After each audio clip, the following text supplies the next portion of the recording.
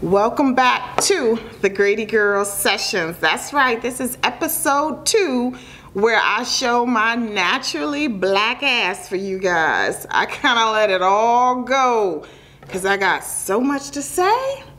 And I figured, you know what?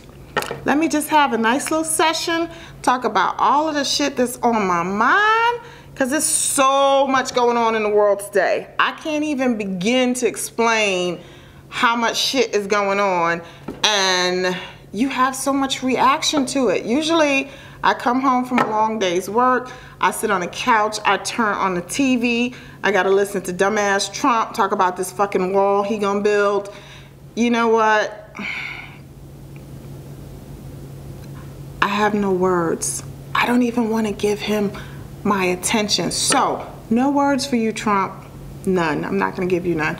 So I'm going to skip past that yet again. That's twice I'm skipping past him. But I'm going to get to him. But right now, I'm just, I can't. I, I, I literally can't. So, bye. So, this week, and I'm going to start off with my girl, Yandy Smith. Yandy was out there doing something very good. They were out there protesting the deplorable conditions at, I think it was the Metropolitan Detention Center in Brooklyn. Now, I personally love you for that, Yandy. I love all the people who were out there. I wish I'd known about it because I would have been down there too. But I gotta say this, and Yandy, you know, I love you, but girl, your ass is in every goddamn thing but a casket. Damn, I turned the TV on. I said, what the fuck is Yandy up there? She then I sprayed some pepper spray in her face and she all on the ground.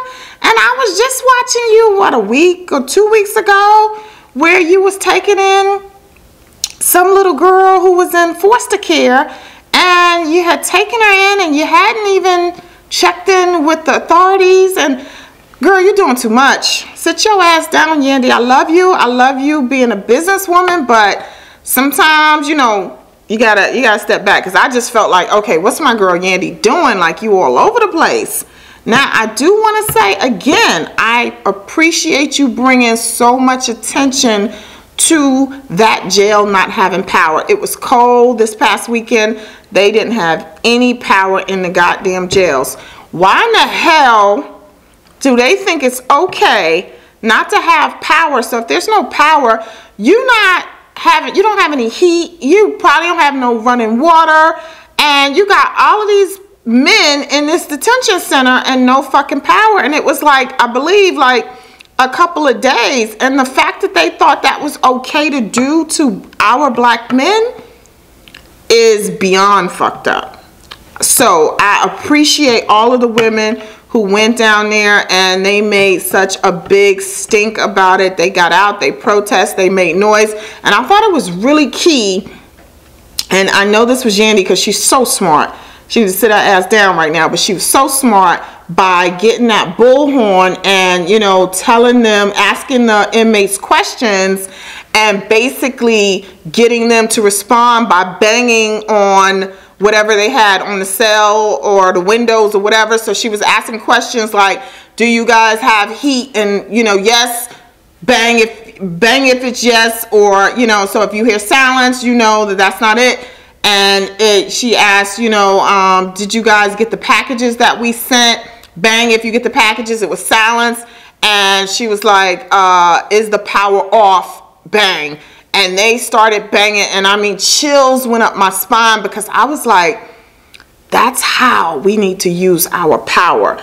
I love the fact that she's using her voice for this and it was just brilliant because through social media and then they were um, I think Facebook live or Periscope I don't know what they were doing Instagram live but they were doing it live as well and I just thought that if we all get creative and think about that just how that they did that they kind of got the power turned on way faster than they would have through ordinary channels. So the fact that they showed up, started, you know, videotaping live, streaming live, and the fact that she was speaking with them through a bullhorn, so effective, so smart. Yo, Yandy, I really love you for that. But girl, okay, take take a break. Boo, sit your ass down. Take a break. Take care of them pretty kids because you have some pretty ass kids. Take care of them kids. Breathe and, and see about your man. And then, you know, get back on the front lines and do what you do. Love you. I just had to say that because that's a story that really got to me. One of the other things that I really, really want to talk about. Um, Cardi B, my girl Cardi B. Y'all gotta give this girl some dap. And I want, I'm, I'm gonna keep it 100. Anybody that know me, I'm gonna keep it 100. I was one of the people, I love Cardi B, I love her music, but because I'm such a community activist and I'm always worried about what the kids are listening to, and I started, you know, asking a couple of people like, you know, we loving Cardi B, but, you know, when you saying shit like fuck them then i get some money and then your little girls run around talking about fuck them then i get some money i don't i don't want my daughter or i don't want other little girls saying that so i was conflicted about that. But i have to say little girls are smarter than we're giving them credit for because it was a little girl i don't know the little girl's name it was a black little girl who redid cardi's uh, new money song um, and she did it about Girl Scout cookies. And she did the rap and she changed the words.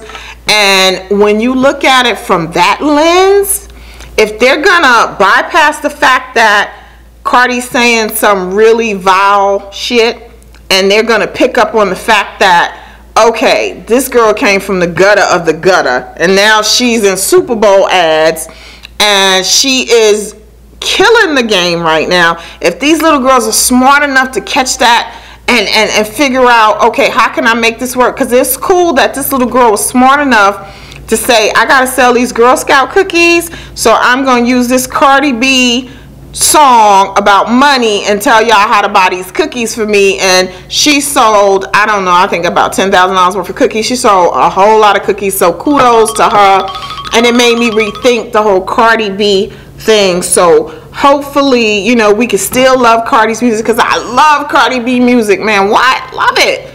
But I don't want the message to get misconstrued because we don't want our kids out here, you know, talking about fuck them, then I get some money. Because no, you don't fuck them and you don't get no money, but you get that money, you go to school. You know what I'm saying? That's how you get that money. So, uh, you know what? I feel so much better. remember, this is called Gradygirl Sessions. So check me out and tell a friend.